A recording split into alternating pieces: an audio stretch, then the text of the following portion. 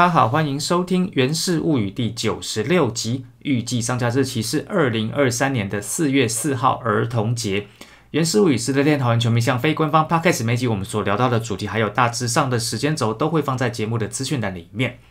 好，那这一集的主题，呃，题目叫做乡下球场开幕战哈。那，诶，我们照字面解释哈，乡下球场就是林乡脚下的球场哈。那这个棒球场在四月二号这一天开幕哈，就我们今年中职我们家乐天桃园的主场开幕战哈。那呃，如果说你是节目上线没有多久就听到这一集，你大概就知道我要讲什么哈。就是我们球场的状况非常之糟糕啦哈，所以在这一集实在是不吐不快。那这个乡下球场，这个其实是我一位看球的朋友，他在那一天。他也在现场，然后看到这个球场，算是应该是还蛮不开心，然后就直接就用这个话，然后就跟他说：“那你这个乡下球场，这个借我来当这一集的标题了哈。”好，那呃，不过已经开季了哈，所以开季之后，我们这个节目的走向基本上就是会回顾一下上周的比赛，好，然后一些心得哈，所以我们就开始吧。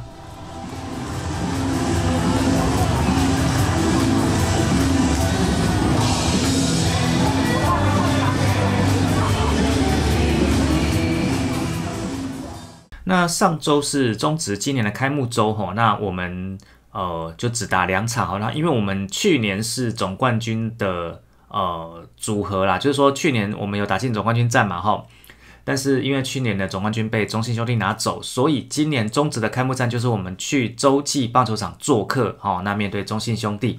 那在四月一号这一天的开幕战呢，我们花了两小时五十九分打完了这场比赛。四月一号的比赛比数四比一，我们赢球哈。那很快速跟大家摘录几个重点哈。首先第一个是这一场我们的先发投手是今年加入的威达尔哈。那威达尔在这场表现的算蛮不错，而且呃以他的这个投球的数据来看，算是压制力蛮够。我讲的数据是。关于转速的这个部分哈，哦，讲到这个就顺便要抱怨一下哈，因为其实今年 WBC 在台中的预赛哈，其实整个 WBC 系列赛都是哈，因为呃 WBC 是走这个 MLB 的路线呢，等于说啊，他把 MLB 的很多的要求哈，对硬体的要求跟数据上的要求都。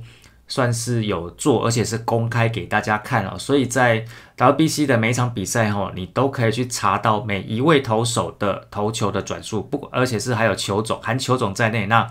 每一颗球的转速都有哈。那这个部分呢，我觉得算是蛮清楚明了哈，就像呃几件事情啊，那包括说像 WBC，呃，我们的先发投手，哎，不是我们的投手有一位状况很不好的是邓凯威嘛，哈，那邓凯威其实在巴拿马那一场投的呃哩哩啦啦好，但是老实说，如果你回去看转速的话，他的转速在呃不管说是那一场，或是说在整个系列赛里面的投手都算是偏快的哈。那再来就是说呃像这个最后一场我们对古巴嘛，那古巴先发投就是我们家的羊头雷法嘛，哈，那当然。当然会有这个抹油的疑虑哈，但是你如果去比对转速，其实它的转速在那一天的先发投手里面，呃，在那一天的投手里面，其实算是偏慢的。也就是说，因为某外来物质，其实你就是要增加转速哈。但是如果说它的转速偏慢，那到底是它没有抹的话更慢，还是说其实它就真的没有抹哈？这个就是数据出来一清二楚了哈。那我就觉得说，这个其实其实中职的各球团绝对在自己的主场有去架这些仪器，然后绝对有去分析自家投手还有对方投手的转速的资讯。只是这个部分在中职一直都就没有，就不是一个联盟公开的数据，联盟统一规定公开数据，它没有办法像这个，它目前还是没有办法像投球的球速哈，球投球的速度一样哈，所以我会觉得这个看中职能不能以后有这样的一个呃比较公开的资讯出来了哈。那我前面讲了这么一大串呢，主要就是因为在洲际的这场开幕战，我们家的先发投手威达尔他的转速其实是蛮漂亮，我觉得蛮快的啦哈。那当然，其实大家都一直有个疑虑，就是说洲际棒球场这支转速测转速的是不是快乐表？因为每个人的数字都很漂亮，都蛮高的哈。但如果说这一支是快乐表的话，大家都测同一支快乐表，那威达尔的转速也是特别特别的快哈。那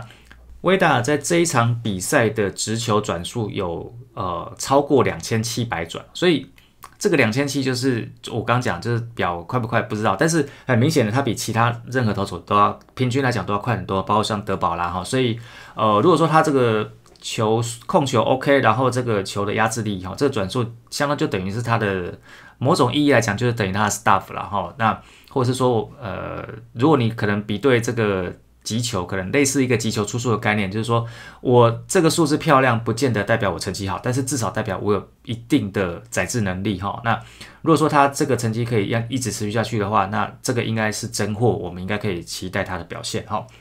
那这是先发投的伟大的部分哈，然后再来几个重点，就是呃，我们在开幕战的时候，今年就来一个典藏陈晨威哈，他在三局上的时候，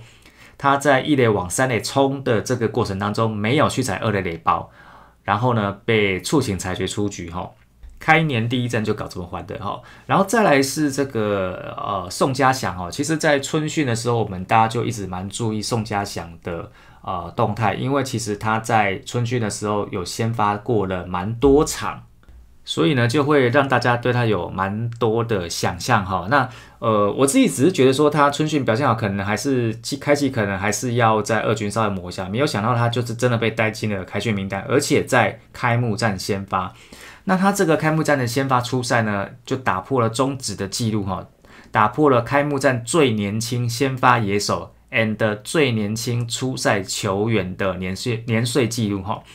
他在二零二三年四月二号这一天，他是十八岁又两百五十三天。那他打破的是谁的记录？他打破是一样是我们家廖建富，他在二零一八年的三月二十四号是十九岁又一百七十七天。那在这个呃当天的这个球场采访里面啊啊，那个廖建富是有说啊，他表示宋家祥能力好他太多了哈，他说。因为在他二零一八年那一场开幕战排先发的时候，其实赛前手脚抖抖的，第一局脑中一片空白，一直到中段才慢慢适应啊。他可以完全体验宋家祥上场的感受哈。那总之这一个报道的重点就是廖建富觉得宋家祥的能力好他太多。那不过呢，呃，他今天是有这个受访，不过七局上的时候，呃。阿富呢，就是上来带打，打来发三分炮吼，那这个三分炮就让我们从落后一分直接变成领先两分，那后面又凌厉的阳春炮追加下去，那中中场就是四比一我们赢球了哈。不过宋家祥其实在开幕战的部分啊，他的搭配其实，在最后一阵投手搭配好进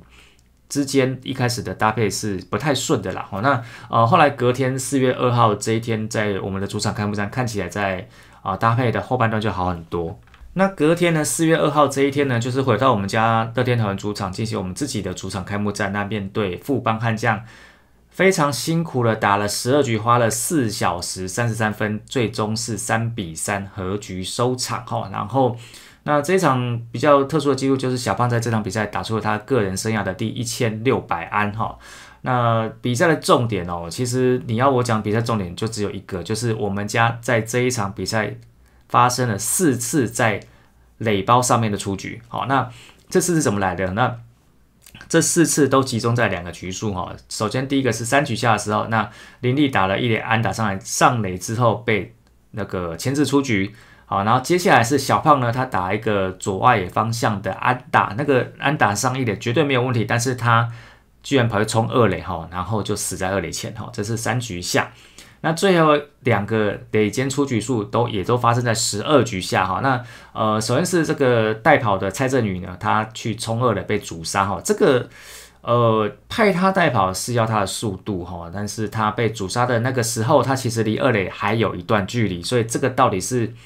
呃抓错时机还是看错暗号哦？这个那再来就是最后一个打席代打郭永维呢，他打了一个一篮打哦。右外方向的伊兰达非常招牌郭文伟式的安打，结果过了一垒之后回垒不及，被 take out，直接变成本场比赛的最后一个出局数哈。那我自己是觉得这四次的垒间垒包上的出局其实都蛮要不得的啦。这个打那么辛苦，打了四个半小时，结果还是没有赢不了球。理论上这四个呃垒包上的出局，你只要有一个或两个是 save，基本上我们应该是可以赢的啦哈。好，这个比赛内容的部分交代完了，好，那接下来就是要进行本集大概算是这一集的重点啦，就是我们来聊一下球场的草皮。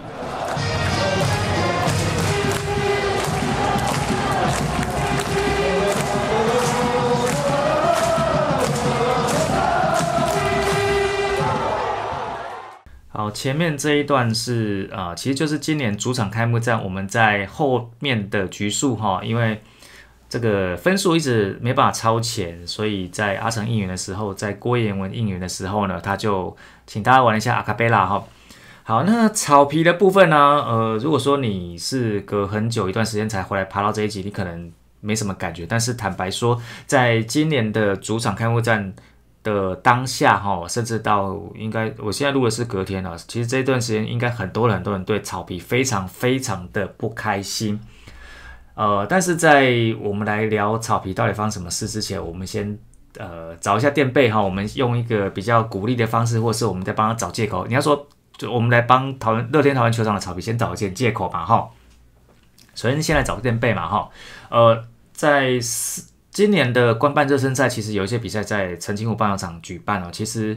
那一次那几场比赛的草皮状况，澄清澄清湖的草皮状况就相当的不好哦。那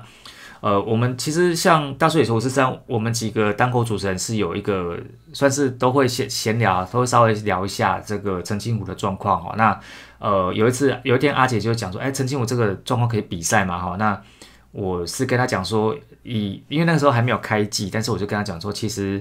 坦白说，乐天桃园棒球场的状况也不太好了，你到时候开季就知道了哈。他开季就是大家都看到了嘛，哈。但是必须要跟大家讲的是，澄清湖棒球场现在虽然会是呃，应该算算是台钢雄鹰的主场，但是他现在还没有正式的认养哈，所以呃，你用一个这个有球团认养的球场去要求一个去比较一个没有球团认养的球场，本来就有点不太对啦。而且老实说，澄清湖的球场状况不好，可是没有比乐天桃园球场不好，顶多是差不多哦哦，所以。这个借口没办法哈，那再来第二个部分就是呃新庄棒球场，因为大家都知道呃南部跟北部毕竟状况不一样。其实你说像南部球场澄清湖跟台南球场，你可以看得出来两边的差距就非常大哈，因为毕竟一个是还没有正式认养，那一个是同一次经认养多年，所以如果说大家回去看一下这个二零二三年四月三号这一场台南球场的开幕战，你会看你就会发现那天呃台南球场的状况是蛮不错的哈。那我们回来讲北部南部，因为毕竟其实中南部雨下的比较少啦，所以相对来讲会比较好维护哦。那北部球场我们呃现在就是主要使用就是扣掉那个人工草皮的天幕，那就是新庄棒球场跟我们家乐天桃园棒球场嘛吼。那新庄棒球场呢，在四月三号这一天也迎来他们的主场开幕战哦。那老实说。你如果真的要讲的话，其实他们球场的状况也不好。那他们不好的地方在哪里？首先，第一个是本后，应该说本后跟一三垒的界外区，其实有蛮多草是草况是蛮糟糕的，是甚至是算是就是你可以看到是黑黑的啦哈。呃，就是土可能是湿气太多土的部分。那再来就是，其实在内野的草皮其实也啊看得出来是有那个秃的状况在的哈。这个是新装棒球场的部分哈。那不过他们外野的部分就算还算 OK 了。那你说新庄棒球场这个草况好不好？老实说是不好，但是这个不好是新庄棒球场自己跟自己比的话，确实在二零二三年开季的状况是比较不好的哈。但是呢，他跟我们家乐天堂比的话，嗯，我们好在哪里？我们可能比他好的是界外区的草况没有那么糟，但是我们是好在界外，在界内区基本上就整个非常的惨烈了哈。好，所以这个拉其他球场垫背可能就不太适合。那我再来帮大家想两个借口哈。首先第一个借口，我我左想右想能想到就是这个乐天桃园球团的行政人员可能是有有些有人是建中毕业的吧哈。那呃为什么会讲建中毕业呢？因为其实啊大家知道台北市有一间这间很老牌的高中叫建中嘛，它。我不是要讲说什么这间学校为什么在一九九五年办了五十届校庆，在一九九八年办了一百届校庆哈，不是讲这个，我要讲是他们的那个呃操场的中间哈，因为这间学校有名的有一个部分有名的部分是他们家的橄榄球橄榄球队，然后呢在早年的时候，他呃建橄哈就是建中橄榄球队的特色就是他会在那个泥泞的沙呃泥泞的那个土地上呢，就是在那边。奋力的打球，打橄榄球，所以他们是很以这个全身沾满泥巴自豪。那后来呢，这个呃学校把操场中间的这一片的，就是橄榄球场地种了草皮之后，还有校友回来抗议说这个背弃的传统哦。所以我不知道说这个是不是有呃类似建中毕业校友，然后在乐天桃园棒球场服务，他想要把这个球场变成建中风格哈，建中橄榄球建感风格。哦，这个我再想了一个借口。那最后再想一个借口就是。呃，可能这个这几啊这几年凹豆风气盛行哦，所以大家都到处去露营嘛哈。那呃，我们球场是不是那要球场的草皮是不是要弄一个这个野露营野餐趴的 feel 哈？所以。呃，做了一种各种不同的状况，那这个部分我们就想要请教这个大叔野球五四三 A K A 头头是道 A K A 光头 You Can Eat 的主持人，呃，光头大叔呢来跟我们讲说，在这样的草地上，哈，比如说可能是水分比较多，那可能是这个草很秃的状况之下，我们如果要扎营的话，这个营地要怎么打哈？我能想到的大概就是这些东西哈。好，那这个。想办法找借口，或是该掰的部分掰完了。我现在跟大家讲一下，到底是什么状况哦。其实你如果有进场看的话，也看得出来。你没有看，你没有进场，你看转播也看得出来。基本上就是内野坑坑洼洼的啦吼。然后你看到这个外野就很多呃秃的啦，或者是说黑的啦的的这些地方啦哈。那像根据我有些朋友，因为他们其实去年也有在那边看过五月天演唱会，他说有一些痕迹很明显，就是那个。当初舞台的一些呃，可能一些架设舞台的一些痕迹，然后他们拆除掉之后，然后那边的草就长不起来，那就会会有那些痕迹的哈。那我特别要讲一个部分是在右外野手前面啊，应该说右外野手的位置会有块黑黑的痕迹。其实你在四月三号看到的比赛，呃，跟着四月二号看到比赛，你会看到那个是站右外野手的前面哈。但是我觉得有可能是因为就是右外野手。不管是哪一队，可能就知道那一边的土就很糟，所以他干脆他就干脆站后面一点点，比较往外边站一点点哈。我要特别讲那一块是为什么？因为其实右外野那一块凸的地方，就是草况很不好的地方，其实从去年野餐趴就已经是那个样子了哈。大家记得去年球呃，应该说每年球团在球季结束都会办个野餐趴，请大家让大家进场。其实那一次去年的野餐趴我有进场，因为其实我就在那个地方，我的位置就我就在那边地方找空位了哈。那我对那一块的印象就非常深刻，那一块是黑的土，而且，呃，因为那一天我还有刻意的赤脚下去踩了一下，其实那一边的水土一直都是湿的哦，就是你等于说那个草可能在那边一直泡在那个高湿度的环境里面，可能烂掉或怎么样，就长不起来。然后它从野餐趴经过了跨年，经过了演唱会，然后经过了这个农历新年，一直到现在，它就还是那个样子，就一直都没有动，一直都没有进展哈。那大家都知道，其实呃，桃园棒球场因为就是它有很多一个先天的因素啊，西晒我们就不讲嘛。那呃，大家都知道，呃，有所谓的排水问题嘛，哈。那排水问题可能也会导致水下不去。那下不去之后，就是你的土壤都饱和，都是这些水分，那就可能也会影响到你的草况，哈。那老实说，因为这个。球场水分的问题所造成的状况也很常常，也不是第一次，常常都有了嘛哈。甚至在我记得在二零二一年的动子趴哈，还有发生过在本垒网一垒跑的那条直线垒线上面直接一个水滩，然后我就看到那一天的比赛有跑者跑跑之后马力又跳直接跳过那个水滩的哈。那还有说像前几年，不管说二零二零年那时候开机也是。啊，反正你其实每一年都会看到，就是桃园棒球场的呃草况啦，通常都状况都不是太好。有时候状况好的时候会有，但是你更多有印象就是这样的呃，就是草况不好的状况哈。那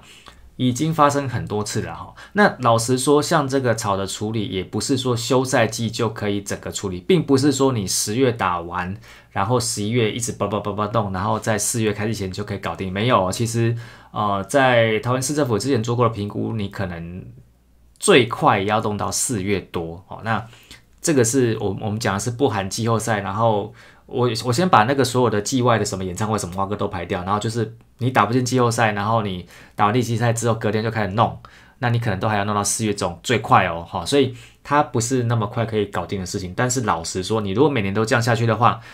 你要不要考虑真的痛定思痛一下哈？就是我可能在。一段时间可能呃破例流浪一下主场，不然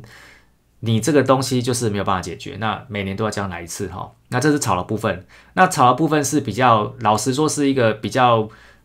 需要处理，但是它是比较需要花时间处理的部分哈。那但是另外一件事情就是我要讲就是灯柱哈。那呃像四月二号主场开幕战这一天，在打到一半的时候又发生左外野灯柱熄灭的问题哈。你说处理草要跨过整个休赛季还不够，要要用到球季中，所以需要从长计议，这个都还可以稍微说得过去。但是灯柱应该就不是吧？那我们家的灯柱会熄灯，也已经不是第一次。我记得还有一次，那一次是拉队还在现场，然后呃，就是等于说他们想办法把它 Q 成电音趴，然后让大家度过这段时间。那那这一次刚好就是在中段局数的时候，那灯就啪就熄掉了哈。那大家就在那边等你灯重新开启哈，才几点了，你就要给我搞形式熄灯哦。那这一次球团很罕见的在比赛之后发了一个道歉声明哈，针对场地的部分向大家道歉，向两队道歉哦。但是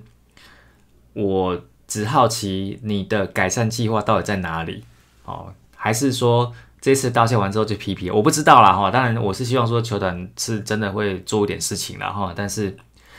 不管是草皮，不管是灯柱，已经不是第一次发生这样状况了。那到底要什么时候我们才能至少是一个？看起来比较 OK 的环境看球，哦，那球员在一个比较 OK 的环境打球。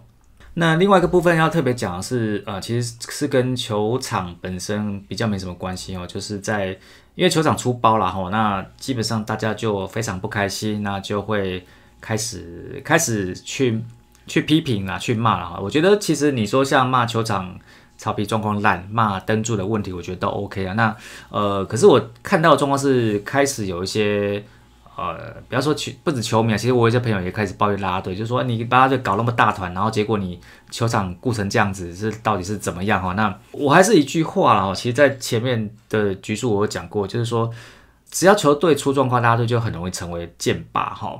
那但是我还是一句话，所以首先第一个哈，就是说，可能大家免不了会觉得说，哎，什么球团都把资源用在拉拉队上，但是。你仔细想一下，其实拉队真的花不了什么资源啊！哈，这次开季里面，你如果听得到拉队花资源的，就是他们因为人数扩编，所以又用了一间休息室，然后呢花了十万块。那十万块很多吗？其实你弄一间小房间，你游戏七七大概就两三万了哈。你说跟这个修灯柱啦、处理草皮比，他们在拉队上花的钱，其实应该真的都是少很多啦。而且拉队是一个赚钱的部门哈，那。拉拉队的状况好坏，其实跟球赛品质、跟球场状况其实也没有关系啦，哈。那甚至如果说大家还是想讲的话，我甚至跟大家讲，二零二一年那一批拉拉队，就是其实就林香那一批，他们一开始来的时候的鸟样，那个是会让大家更生气的，就是你球场状况不好，然后你球队状况不好，然后结果拉拉队跳成这样子哦，那个那个愤怒值是会比现在更高的，然后，然后再来就是说，呃。拉队当然不是本职，我们都也都知道。那问题新闻就一直报，那为什么新闻一直报？你说像那个休息室人数变那么多，然后休息室扩编，这个可能记者也会想问。那记者想问，那球队人家就回答。那回答之后，他就写了一篇，然后就又被又被大家骂。我我的猜想大概是这样子啊哈。那你说拉队不是本职，对他确实不是球赛的本质。但是老实说，在一个棒球场里面，不是本质的东西很多哈。拉队不是不不是本质，那美食街其实也不是本质。那如果说这个比赛呃场内状况这么多，然后大家去骂拉队，那你为什么不顺便骂一下美食街？这个场地不顾好，那只顾着拉队，听起来合理呀。那场地不顾好，只顾着去弄美食街，听起来也合理呀。那其实很多非本质的东西都可以骂了，我只能这么说哈。那另外一个部分就是说，呃呃，在其他状况之下，那拉拉队就拿来谈的，这也是。在某种程度上也也也好像也说得过去哈，但是这回到一个部分的问题，就是说到底不管是球员或是拉队啦哈，那要不要去承受这样的一个可能跟他没什么关系的批评哦？其实呃，我之前在某一次的。场合遇到 A 等啊，就是 Hito 大联盟 A 等，那他其实有有一个类似的说法，他说其实像球员的部分啊，那球员你那么多薪水，那你可能在一一些状况下就会去就变成你必须要去承受一些可能不是你应该承受的批评哦。那如果说以这样子的一个思维来讲的话，那球队状况不好，然后球场状况不好。所以你去骂跟这个没什么关系的拉队，呃，在思维上好像也是同样的一个思维的逻辑哈。那那但是如果是用这样的思维逻辑去骂球员或者是去骂拉拉队的时候，我觉得你可能要先很清楚的知道你是在做情绪的发泄，就是说这个情绪的发泄，你只是找一个受词一个受体去承受这个情绪发泄，但是是不是真的这个受词这个受体去？跟你讲的这件东西有因果关系，这个东西是要分开的哈。就是说情绪发泄跟因果关系的逻的逻辑是要切开的哦。那如果说你可以分得很清楚的话，那我觉得这是 OK。那只是说不要说好像把什么事情都怪到一些球员或是怪到拉拉队上，好像事情就会变好，那其实是不会的哈。好了，这是我的小小心得哈。那最后一个 part 就是来讲一下在四月二号这一场主场开幕战我自己的进场心得。Thank you.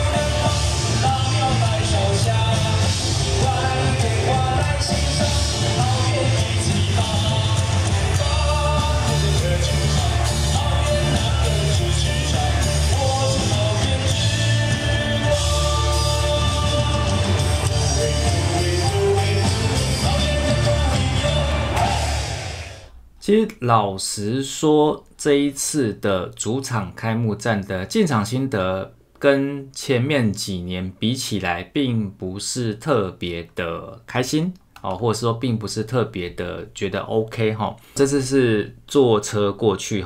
那捷运坐到了 A 十九下车，在大厅城的时候，就感觉到好像有一点点缩水哈，因为呃，大家知道 A 十九的大厅城。在付费区里面，就是有用人工草皮铺了一个像棒球场的样子嘛，吼，那这些东西都还在，但是在这个里面的柱子上啊，呃，前几年其实我们都会放我们球队的大海报，吼，那今年就都没有。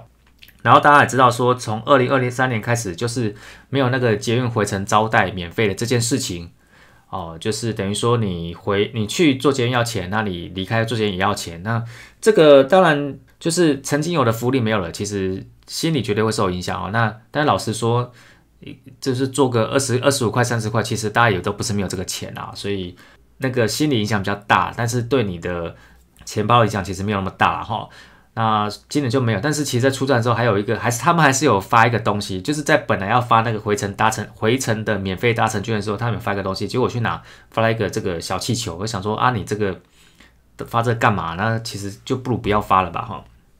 然后再来就是说，在这个大家都知道，S 九就是有很多我们家乐天桃园的主题啦哈。那我这次因为我没有进到商场里面啦，所以商场里面呃在这一阵子有什么变化，我是我觉得我没有办法跟大家做报告哈。但是大家都知道，在这个呃联通走道哈，就是说你可以从 S 九捷运站，然后直接经过环球外面，也就是青浦会外面那个连室外的联通走道，然后可以再走天桥到球场。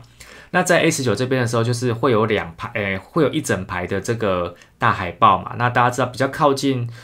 呃捷运站这一区的海报，就是我们的球员的大海报。然后在比较靠近球场那一边呢，是啦啦队，就是 Rakuten Girls 的大海报哈。那很明显的，这个大海报从去年到现在都没有更新，哦啊，就是已经被 Thank you 的林轩，其实在这个大海报区里面，你还是看得到哈，就算是一个呃遗迹吗？好。好，然后在这个天桥进场的这个入口啊，就是在那一天其实排很多人哦。那呃，在那一天我有一些比较早进场的朋友也都提醒说，其实你要进去最快就是从三垒侧的入口进去哦。那果然那边是不用排队的哈。那进去之后呢，就是这个人山人海嘛，因为毕竟是开幕战啊，大家都很久没有进场了哈。然后大厅呢，就是。很多人哦，那大厅我唯一注意到就是大厅的地板有重铺，哎，应该那个算地板嘛？它应该是算是那个呃类似壁纸吧，哈，就是它应该是反正它这个重铺的不是瓷砖啦，就是但是就重铺然后然后呢里面就人山人海，然后听那个里面有一个排很长的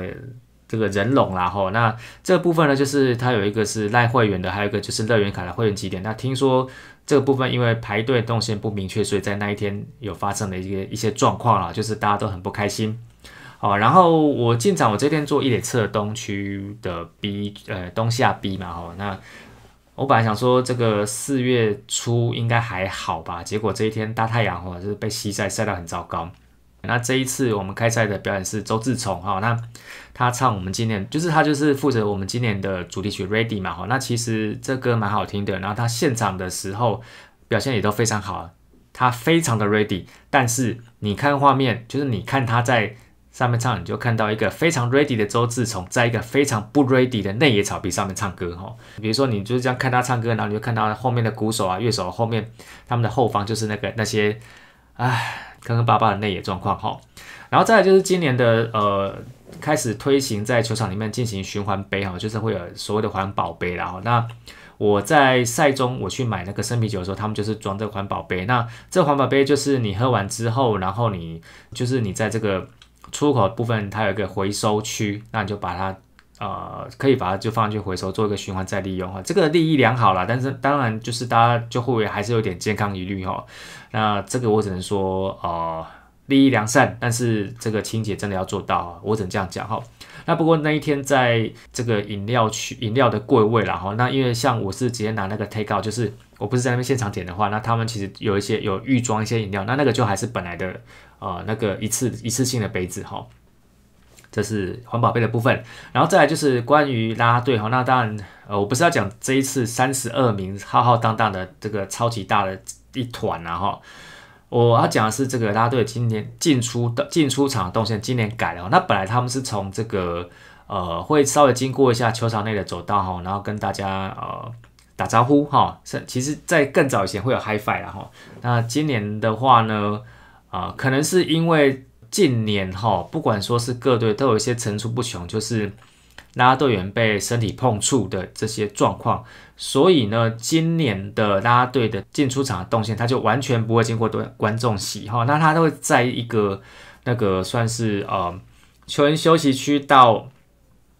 本垒后方中间，因为他本来就有一个出入口嘛。那像这个裁判的老师，把他们本来就是从一垒出入口那边进出了哈。那本来我们家拉队都是从三垒的那个出口进出，那今年就是两边其实拉队也都会用。然后呢，他们就是分别在一三垒架了一个楼梯，直接走到大家队舞台上哈。然后这个东西，我朋友是说，好像是去年底五月天演唱会的时候就装了一个梯子了哈。那这个梯子就沿用下来，就一直留用哈。我自己个人是觉得这是一个比较好的设计，因为毕竟洗澡事件真的太层出不穷。那到后面，其实我会觉得说，要保护一下我们的拉拉队员是重要的哈。好，然后再来就是这个应援团的部分啦。那今年因为我们多了一个新的应援团长叫 A B 嘛，哈，那 A B 或是阿贝或是阿 B 哈，随便你怎么叫哈，那就是简单跟大家解释一下，他就是长得有点像江宏杰啊。那不过他以前其实是中信兄弟的球迷哈，就是大家如果稍微 survey 一下就可以看得到哈。那 A B 其实在呃进来之前，他其实是在那个三 D 系统然后那。他是什么华流之星嘛？我在上一集请那个光头大叔帮我讲的那个单口里面有哈。那不过其实我那时候一开始听到他是三 D 系统的时候，我比较想象到的是他用三 D 的 q 靠来带应援哈。比如说，呃，如果说这个呃我们对于裁判的判决有质疑的话，那他是不是就会说？或者是我们准备要大举反攻的时候，他就会说：你那是搞武力攻起来。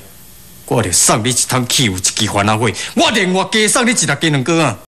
以上纯属我个人的想象啊。当然，如果你听得懂前面这两段的话，那表示嗯，你也是生活有点资历了哈。好，那当然，事实上他当然就不是走这个路线啊。不过我必须说，他带的太用力了哈。因为其实在这场主场开幕战里面，他第一次应援，那他可能是这个是呃，算是。比较斩烂哈，那个力道哪里还不太够。那呃，现场听其实蛮多次爆音的啦。那